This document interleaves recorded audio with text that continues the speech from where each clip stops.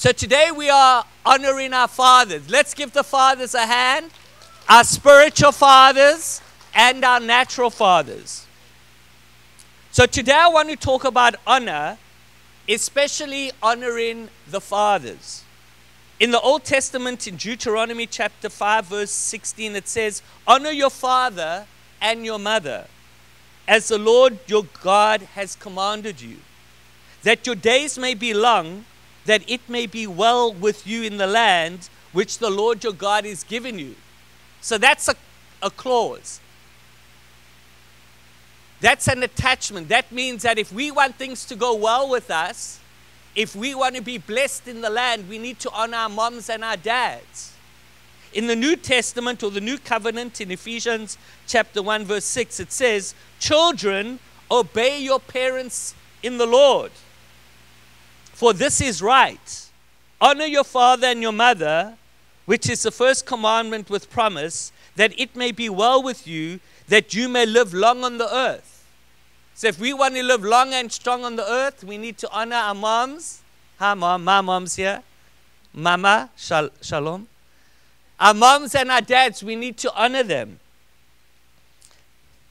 And you, fathers, do not provoke your children to wrath but bring them up in the training and admonition of the Lord. So, honor means to hold in high esteem or with great respect. Honor means to regard or treat someone with admiration and respect, to give someone special recognition. So, when we think of our dads, especially when you're a teenager or, or you're a young adult, you don't quite honor or see or respect your dad maybe the way you should but we need to think back. Think back to the time when you were a little baby. And your mom would help, but often your mom would say, uh, like Lucinda, Jarrod, and I run into Liam's room at one in the morning, bottle feed him, and then change his diapers. So our parents have invested so much into us, even as little babies. Think of all the times they, they taught us how to play a sport, or spoke to us, or took us to a friend's house and, and, and just blessed us and worked hard to provide for us. So we need to think back and honor them for all that they have given us. Now, when the Bible speaks about honor, it doesn't mean that you must only honor your parents when they're honorable. Because isn't that what human nature says? You nice to me, I'll be nice to you. You nasty to me, I'll be nasty to you. So the Bible is not teaching about that. Honor is a higher dimension of, of admiration. It's honoring them because your heavenly Father says to honor them, whether they're honorable or not. So much of the time we need to honor fathers by faith, especially if your father didn't serve the Lord and maybe he was a, a very nasty guy, maybe cruel, maybe treated you badly, maybe never told you I love you or respected you. And, and, sometimes those kinds of dads are hard to honor. It's very easy to honor dad that's always there and loving and kind and generous and uh, doing lots of great things, but maybe your dad wasn't like that. And for that, it's a little bit sad. However, we have a heavenly Father that loves us and cherishes us and, and who wants to be there for us. Amen? So, I want to give you some tips or some tools that we can use to honor our dads. Number one, speak well of them. I hear so many Men, now none of you, I'll be honest, it's actually none of you. So you guys are all off the hook. Maybe it's you that are watching on social media. Just kidding. But so many people speak badly of their parents because a, lot of the times their parents were bad. They didn't treat them with honor and respect. But Romans chapter 13, verse 7 says, Give to everyone what you owe them. If you owe taxes, pay taxes. If revenue, then revenue. If respect, then respect. If honor, then honor. So the Bible warns us to honor our fathers. Now, now, if you think of it, honor doesn't mean like you highly gratefully respect this person for all the great decisions that they've made in life. Maybe they've made terrible decisions. Maybe they treated your mom badly. Maybe they treated you badly. So it, it doesn't mean that you, you highly respect them, but you honor them as your father. Exodus 21, verse 15 says, And he who strikes his father or mother shall surely be put to death. He who kidnaps a man and sells him, or if he is found in his hand, shall be put to death. So, human traffickers, watch out. and he curses his father and mother shall surely be put to death. I'm so glad we don't live in the Old Testament. Because how many times are we disrespectful or, or, or, or not good kids to our parents? Now you you all perfect kids. You've never made you've never taken your parents' car without permission. You've never stolen a dime from your mother's purse. You've always done your homework. You, your mom said, Where were you? You always told the truth. So I know you guys are so holy. Maybe it's not really the right message for you. But people, normal people, because you guys are extraordinary, normal people aren't like that. Number two, seek dad's advice. So the Bible says there's safety in the multitude of counsel. So when you seek your dad's advice, it doesn't mean that you're going to do exactly what dad says, but it's good to have dad's point of view. Now, if dad isn't following the Lord and the Lord's principles and the word of God, take dad's advice with a pinch of salt. Listen to what he says, because sometimes, even though some people aren't serving the Lord, they have incredible experience and incredible wisdom and make better decisions and choices than sometimes people that serve the Lord. So it's good to get dad's point of view. But what I always do when I get people's point of view, I run it through the, the, the Word of God filter. If what someone says is contrary to the Word of God, then I shelve it. But if the advice that your dad gives is good advice, take it to heart and consider it. Proverbs 20, verse 29. The glory of young men is their strength, and the splendor of old men is their gray hair. Job 12 12. I'm laughing because some people say job. oh, it's funny. Wisdom is with the aged men, and with length of days, understanding. So there's some people that I know, some of my team members back in South Africa, one man in particular has gone to be with the Lord. He left school, I think, in standard one. That's like grade three. And it was always a regret of his. And the reason why he left is because uh, he punched the teacher in the face. And uh, he was too embarrassed to go back to school, so he told me, No, I was too embarrassed and, and I just never went back to school. But he was such a wise man, but because of his decisions, he always had a minimum wage job and he came to work for us. And he, he actually stayed in our family, Lawrence, for 50 years. He worked for my grand, then my mom, then he came to work in our ministry. But I always, for so many situations, I went to Lawrence for advice because he had street smarts. He was wise in, in, in godly wisdom, uh, not always godly wisdom, but the Lord used him. So I would always say, like, Lawrence, what do you think? And I would hear what he had to say and I would take it. And he was like a, like a father to me. Number three, acknowledge your dad in your own achievements. I always love when, you, when we watch uh, people win uh, athletics tournaments, boxing, tennis, whatever. I love it when they thank their dad or their mom because they're honoring the fact that my mom or my dad was the one that maybe first believed in me. My mom and my dad was the one that was schlepping me to, to all the practices, schlepping me around the state to all the tournaments, investing financially in me. So we need to honor our parents for the investments that they make into our lives. And it doesn't mean you have to win a trophy to thank your parents. Thank your parents for teaching you the Bible. Thank your parents for teaching you how to be wise. Thank your parents for teaching you, maybe they taught you how to play the guitar or how to use a computer or how to do certain things. We need to honor our dads, honor our parents for where we are in life. And especially for those that have really done well in life, think back to the one that first believed in you. Maybe your mom or your dad's love language wasn't to say, I love you, I love you, I love you, you're the most incredible child, I love you, I love you. But maybe their lang- love language was to provide for you. So we need to look back, especially on Father's Day. So I'm challenging all the kids when the opportunity arises today. Thank your dad and your mom, but especially your dad for everything that he's done. You know, we go to a lot of schools in Africa, but a lot of schools, obviously, we've done 129 Orange County school campaigns. And in many of them, especially in Africa, and even here, I say now, guys, think about everything that you get to experience. The fact that you can go to the fridge and open the fridge and there's food, your mom and your dad worked hard for that.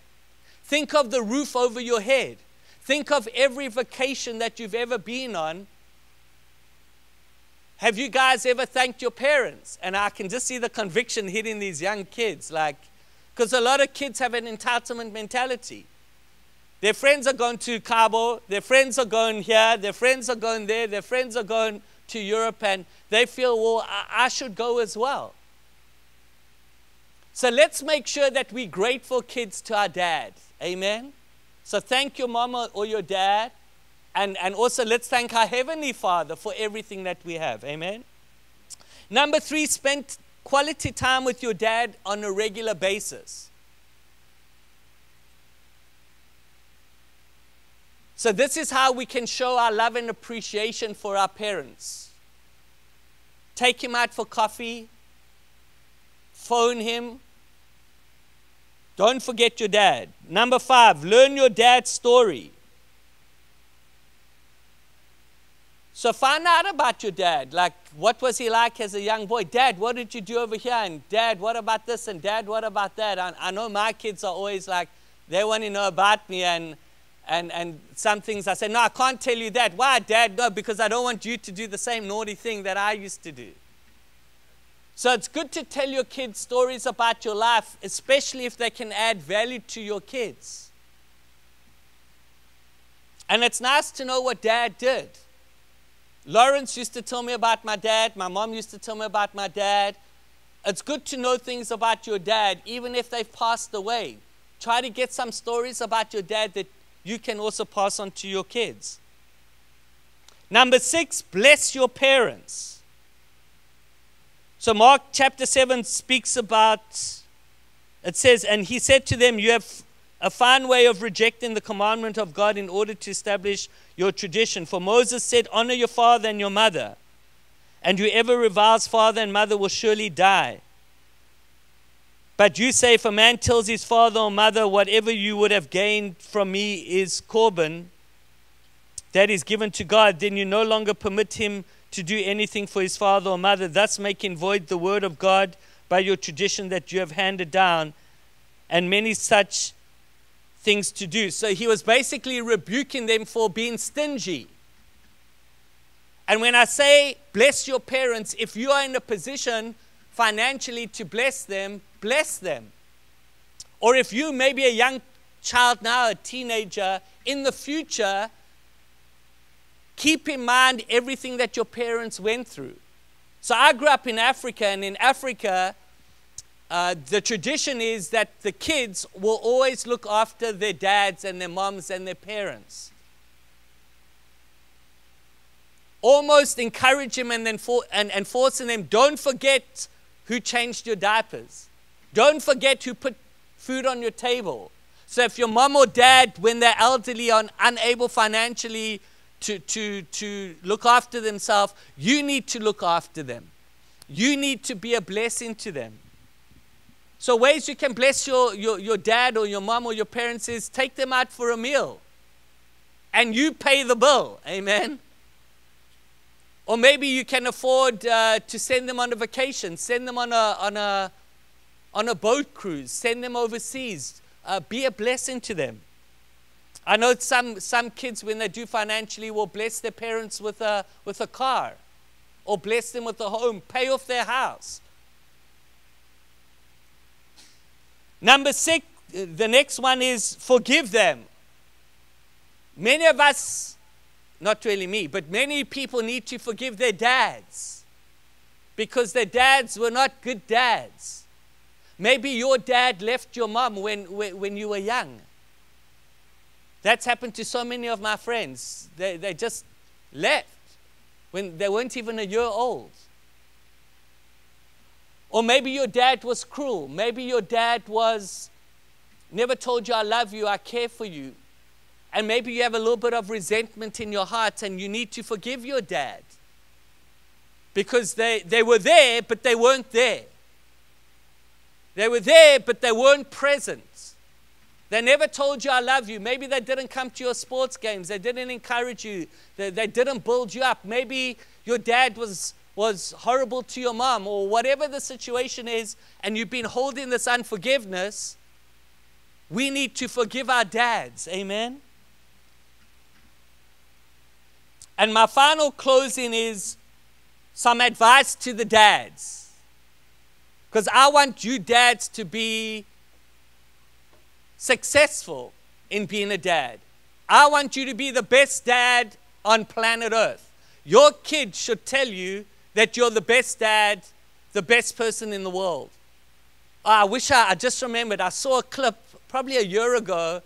It was the most incredible. I actually cried, and you would cry as well. I only remembered it now. But in this clip, they have about four or five parents and, and they have four or five kids. Now, they probably like had a hundred parents and a hundred kids, but they chose obviously the best ones to bring this point home.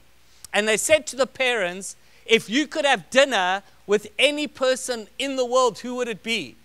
And the parents were like their favorite NFL star or boxer or, or celebrity or singers. And so you heard that first, and then I was like, I wonder what the kids are going to say, like Donald Duck or Justin Bieber or one of these kind of like. And you know what the four or five kids said? If you could have dinner with any celebrity, any famous person in the world, who would it be? And they all said their mom and dad. So that's how our kids need to look at us that we are the most incredible kids in the world. So, advice to dads take it or leave it. I hope you take it. Number one, Leave an inheritance to your kids. Proverbs 13 22 A good man leaves an inheritance to his children's children. So it's not only talking about your kids, it's talking about your grandkids. So I looked up the meaning of inheritance and it said legacy, endowment, estate, heritage, benefaction, and provision.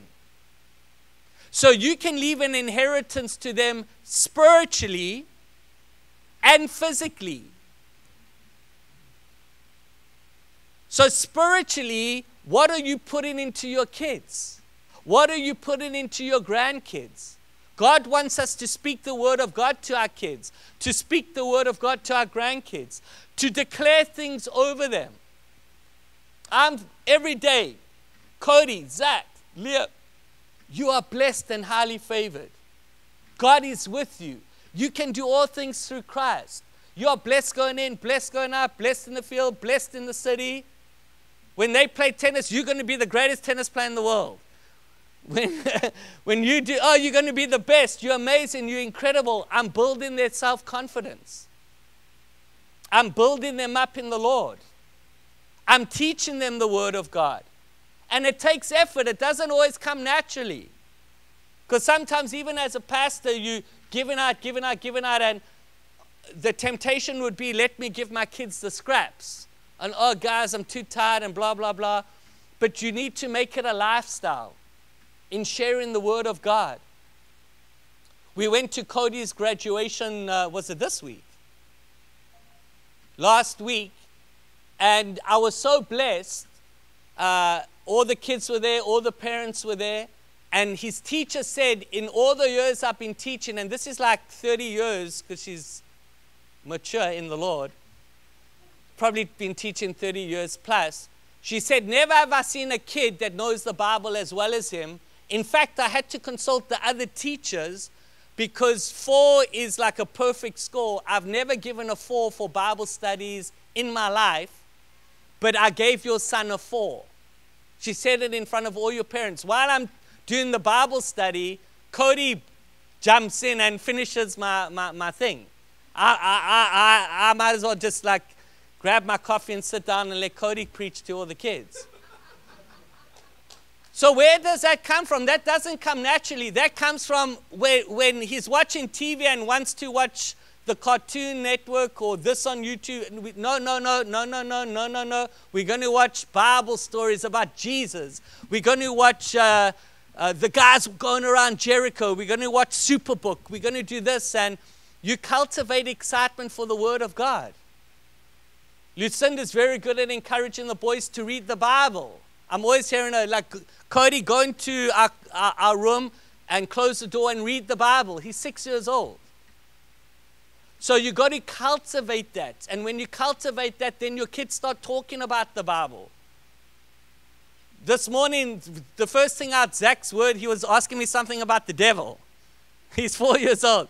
Dad, why do people, why does Satan come into people's hearts? How, do, how, did it, how does it happen? I mean, dude, I just woke up, you just woke up, it's like 6.30 in the morning, you're asking me about the devil. So where does that come from? Lucinda and I are pouring in. You don't need money to pour in spiritually to your kids.